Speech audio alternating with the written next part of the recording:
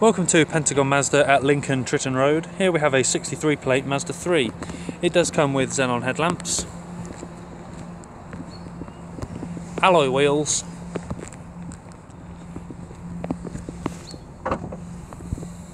There is a good sized boot. If you do need more space, the rear seats have a 60-40 split.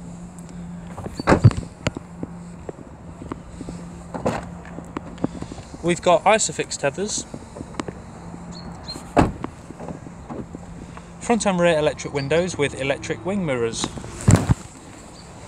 some steering wheel controls for the radio. The vehicle has a CD player, FM AM radio, air conditioning with climate control, air conditioning. This is a 5 speed manual.